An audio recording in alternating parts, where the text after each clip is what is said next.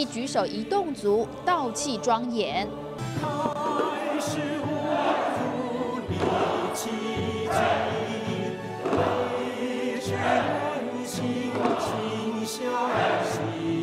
慈济行愿路发大心立大愿，台南静思弟子向上人至诚发愿，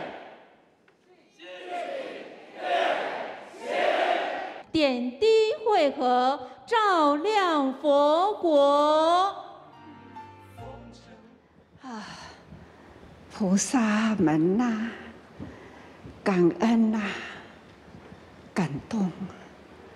千言万语说不尽的感恩呐！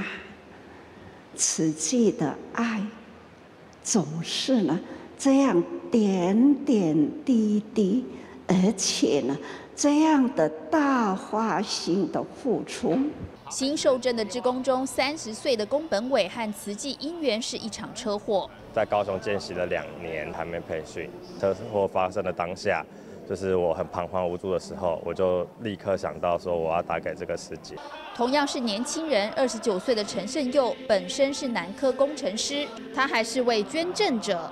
只要一打针生针的话，晚上其实头就是超级痛，然后没办法睡觉这样子。这种跟需要受水的人他们的一些病痛比起来，真的就是微不足道。那你也不会觉得说自己是做了什么了不起的事情，就是一个。既然只有你做，那就是应该是要你做的该做的事情。这种的起心动念呐，有立法的人，起一念心，念念为法；也那是凡夫呢，念念无明，无明的烦恼啦。咱拢爱人人感恩。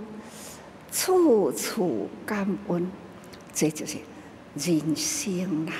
年轻人发心立愿，从文法到传法，要承担净思法脉，扛起天下米罗。大爱新闻李嘉欣、陈立伟台南报道。先请坐下。